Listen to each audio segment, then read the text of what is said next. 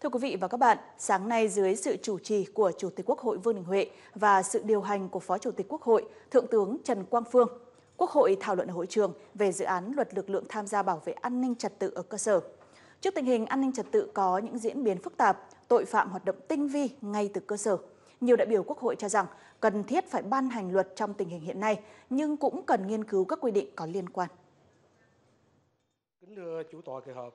Việc xây dựng luật lực lượng tham gia bảo vệ an ninh trật tự ở cơ sở là phù hợp với quy định của Hiến pháp năm 2013 vì nhiều nhiệm vụ của lực lượng này có liên quan đến quyền con người, quyền công dân. Lực lượng tham gia bảo vệ an ninh trật tự ở cơ sở là lực lượng gần dân nhất, dân có an, dân có giàu, nước mới mạnh.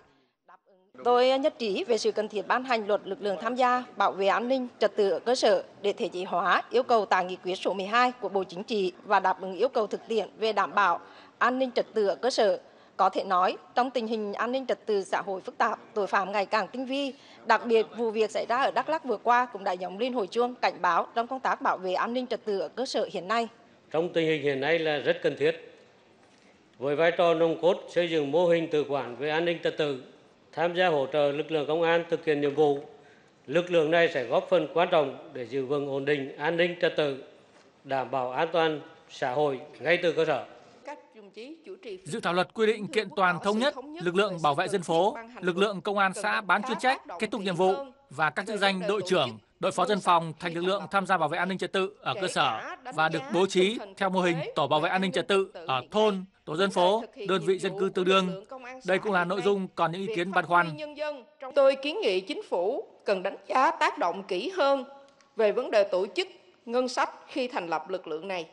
kể cả đánh giá tình hình thực tế về an ninh trật tự hiện nay, vấn đề thực hiện nhiệm vụ của lực lượng công an xã hiện nay, việc phát huy nhân dân trong phong trào toàn dân bảo vệ an ninh Tổ quốc và các hoạt động tự nguyện, tự quản ở cơ sở hiện nay đạt được kết quả hiệu quả như thế nào.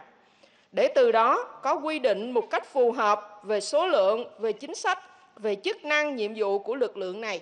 Hiện nay ở thôn, bản, làng, ấp, tổ dân phố bao gồm nhiều lực lượng nếu luật hóa chỉ có một bộ phận nhỏ, chủ yếu là công an xã vô dư, tổ trưởng, tổ phó dân phố, đội trưởng, đội phó dân phòng lại được hưởng chế độ chính sách theo quy định sẽ không công bằng với lực lượng dân quân tự vệ, dự bị động viên và các tổ chức mặt trận và các đoàn thể ở thôn và cán bộ dân số sẽ gây tâm lý bất ổn so bì. Tôi đề nghị cấp thẩm quyền, Quốc hội, ban soạn thảo cần có cân nhắc nên có lực hóa với các đối tượng này hay không. Tôi kiến nghị ban soạn thảo nghiên cứu bổ sung các lực lượng tự quản trong nhân dân và lực lượng khác với tính chất tham gia hỗ trợ lực lượng công an cấp xã vào đối tượng áp dụng của luật.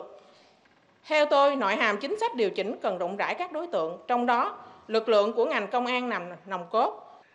Một số ý kiến khác cho rằng dự thảo quy định nhiệm vụ của lực lượng này là quá nặng, trong khi đây chỉ là lực lượng hỗ trợ công an chính quy, không có lương, nên cần xem xét quy định cho phù hợp với vị trí, chức năng của họ.